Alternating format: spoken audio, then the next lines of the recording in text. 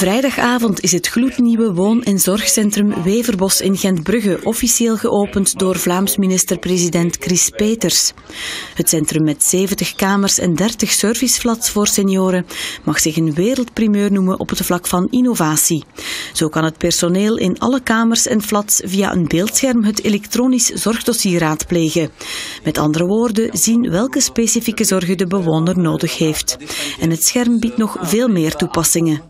Klok, kalender kan erop komen, uh, andere animatiemogelijkheden die de bewoner kan aanvinken. Uh, dat is mogelijk in het centrale bewonersdossier.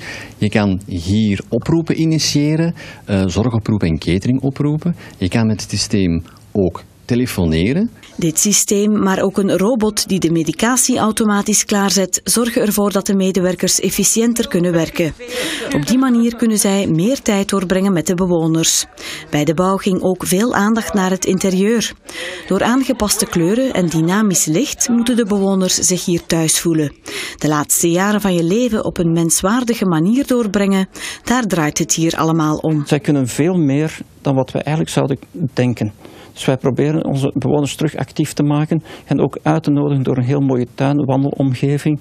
Nog een ander technisch snufje van wereldniveau is de intelligente matras.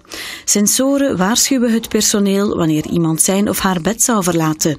Tilliften in de badkamers en kamers sparen dan weer de rug van de medewerkers. Vlaams minister-president Peters is duidelijk onder de indruk na de rondleiding.